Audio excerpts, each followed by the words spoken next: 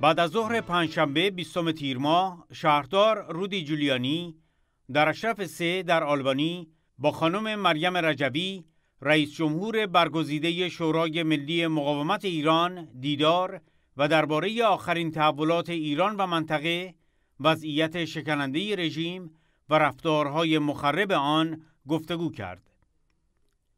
آقای جولیانی با تاکید بر اینکه رئیس جمهور و وزیر خارجه آمریکا مکررن اعلام کردند که رژیم ایران یک رژیم فاسد است و مردم ایران بیشترین کسانی هستند که از آن رنج می‌برند گفت آمریکا در مبارزه مردم ایران علیه دیکتاتوری دینی در طرف مردم ایران قرار دارد. آقای جولیانی گفت یک آلترناتیو معتبر و مشروع برای رژیم ایران وجود دارد که در شورای ملی مقاومت سازمان یافته است.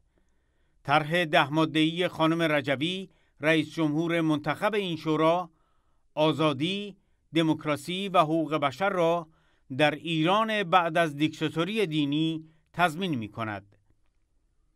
وی با تقدیر از نقش رهبری کننده خانم رجبی گفت مقاومت ایران از توانایی بیبدیلی برای سرنگونی استبداد مذهبی حاکم بر ایران و آوردن دموکراسی و پیشرفت برای ملت بزرگ ایران برخوردار است.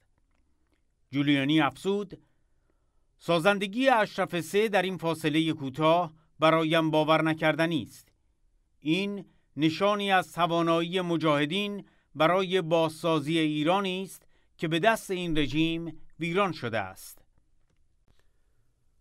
خانم مریم رجوی تاکید کرد رژیم حاکم بر ایران با یک جامعه انفجاری انزوای روزافزون بین المللی یک مقاومت سازمان یافته و جایگزینی معتبر و توانمند مواجه است. این رژیم از پاسخ دادن به کمترین خواستهای مردم ایران عاجز و ناتوان است. چشمانداز سرنگونی این رژیم از هر زمان دیگر روشنتر است.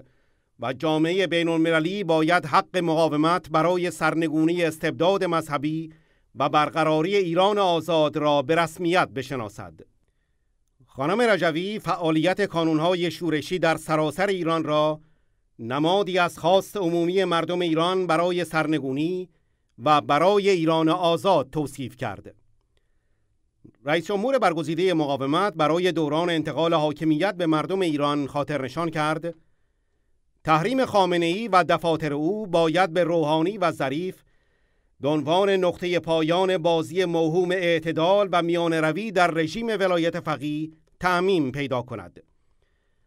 وزارت اطلاعات آخوندها باید مانند سپاه پاسداران در لیست تروریستی وزارت خارجه آمریکا و اتحادیه اروپا وارد شود. رژیم و پاسداران آن باید از عراق، سوریه، یمن، لبنان و افغانستان بیرون انداخته شوند.